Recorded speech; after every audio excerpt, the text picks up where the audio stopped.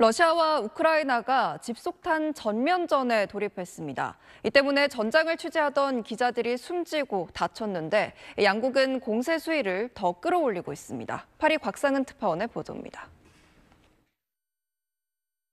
산더미처럼 쌓인 로켓 파편들입니다.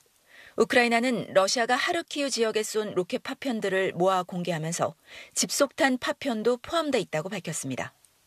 Постійно, постійно летять в нас касети, постійно е, обстріли. То 우크라이나와 러시아가 집속탄 맞대응에 나서면서 민간인 사상자도 속출하고 있습니다.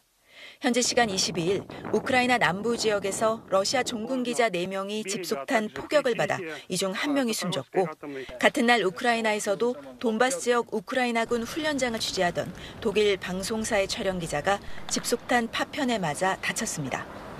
우크라이나의 곡물 수출항인 오데사에 대한 러시아의 공세는 더욱 거세졌습니다.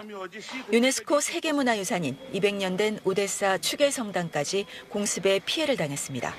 지붕의 절반 이상이 날아가고 곳곳이 불타고 기울었습니다. 19 ракет різних типів, спеціально абсолютно, щоб їх було складніше збити і щоб завдати більше руйнувань. 오늘 새벽엔 러시아 수도 모스크바가 또 드론 공격을 받았습니다. 건물 두 채가 부서졌고 드론 파편이 러시아 국방부 건물에서 불과 2km 떨어진 곳에서도 발견됐습니다. 양측의 공세가 후방지로 확대되는 가운데 집속탄 사용까지 본격화하면서 민간인 피해가 더욱 커질 것으로 우려됩니다. 파리에서 SBS 곽상은입니다. 더 많은 뉴스를 보시려면 화면 오른쪽에 있는 구독 버튼을 눌러주시면 됩니다. 그리고 제보할 게 있으면 꼭 저희한테 보내주십시오. 저희가 열심히 취재하도록 하겠습니다. 항상 SBS 뉴스를 시청해 주셔서 대단히 고맙습니다.